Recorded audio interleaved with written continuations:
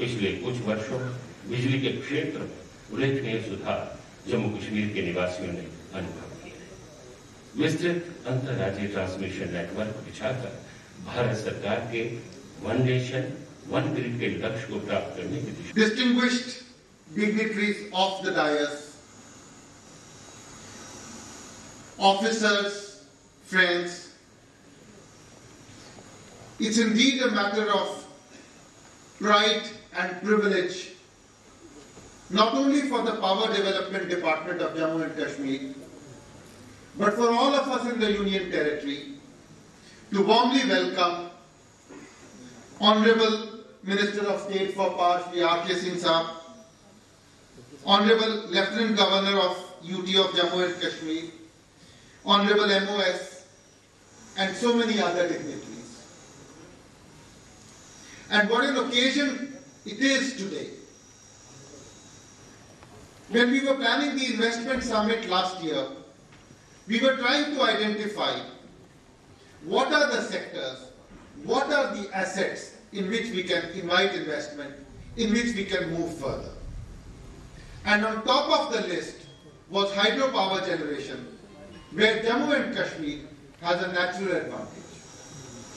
Unfortunately, in 70 years since independence, we have been able to develop only 3,500 megawatts of the 18,000 megawatts or so potential that we have identified.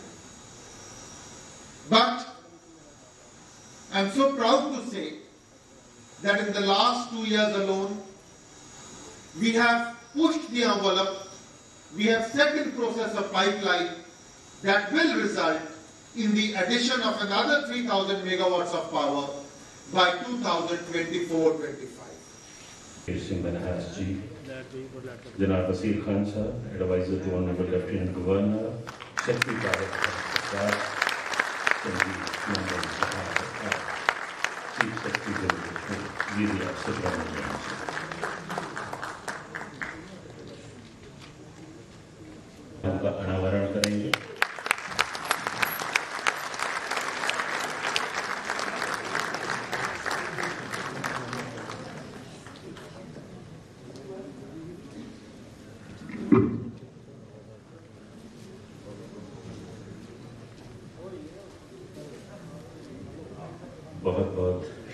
शुक्रिया sir doctor Jitendra Singh ji के जो संसदीय क्षेत्र है उसी में आते हैं तो आज तक की जोरदार तालियों को भी मैं दावा दे रहा हूँ माननीय केंद्रीय मंत्री son of the soil doctor Jitendra Singh प्रधानमंत्री श्री नरेंद्र मोदी जी के व्यक्तिगत हस्तक्षेप से सत्तर साल के बाद पहली बार जिला परिषदों का गठन हुआ, सफल चुनाव हुआ।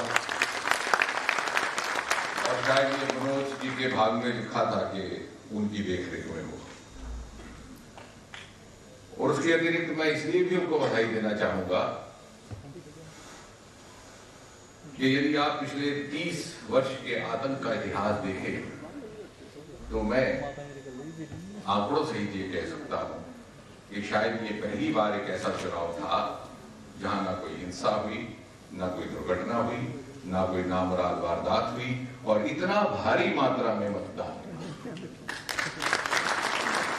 वरना संसद और विधानसभा के चुनाव में भी विशेषकर घाटी में 10-15 प्रतिशत से अधिक अपेक्षा नहीं रहती थी और उससे बड़ी संतुष्टि भी हो जाती थी। इस बार बढ़ चढ़ करके घाटी में पचास पचास साठ साठ प्रतिशत मतदान होगा। और मुझे उम्मीद है कि आने वाले समय में विश्लेषक इससे कुछ अनुमान लगाने का प्रयास करेंगे। शायद जनता ने ये संदेश देने का प्रयास किया है। कि बार बार एक ही वर्ष से जो उम्मीदवार उतर करके आते थे, उनसे जनता ऊब गई वही चेहरे विधानसभा के लिए भी, वही चेहरे संसद के लिए भी, और इस प्रकार लोकतंत्र के प्रति उनकी आकांक्षाएँ बुझती चली जा रही थी। वो जो जमहूरियत की तमन्ना जो झुलस गई थी हसरत जो झुलस गई थी, उसने फिर से बढ़ाई ली है। और मैं ये कहूँगा कि इस भारी मतदान का ये एक शायद संदेश है कि पुनः जम्मू कश्मीर में लोकतांत्रिक आकांक्षाओं के प्रति जागृति हुई है, जमहूरियत के प्रति हसरत बनी है। सबसे पहले मैं आप सबको नव वर्ष की हार्दिक शुभकामनाएँ अपनी ओर से देना चाहता हूँ कि आने वाले वर्ष में बीमारी से तो मुक्ति मिलेगी, विकास की एक नई गाथा जम्मू कश्मीर लिख सके।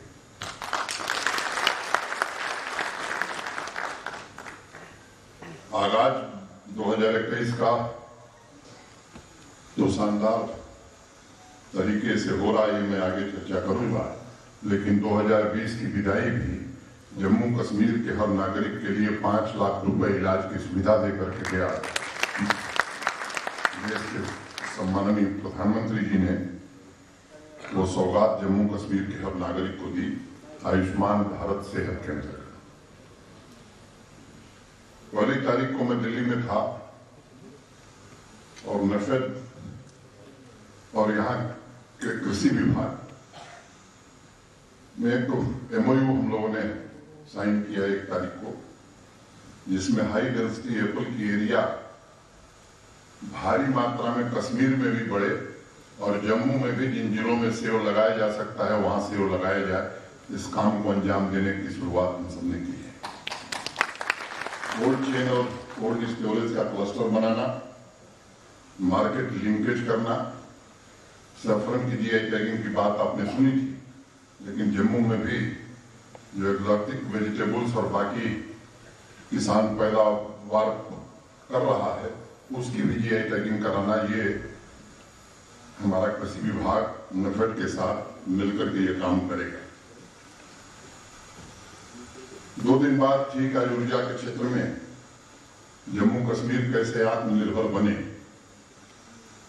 इस अभियान का शुभारंभ हो रहा है। रोहित कंसल जी ने अभी एक प्रेजेंटेशन पीडीपी डिपार्टमेंट का आपके सम्मुख प्रस्तुत किया है। जब श्रीनगर से हम जम्मू आ रहे थे तो कश्मीर के निवासी एक ही बात की चिंता व्यक्त करते थे। पिछली बार सर्दियों में बिजली के अभाव के कारण बहुत परेशानी हुई। स्वाभाविक भी है, दो बार हम सब लोग बैठे,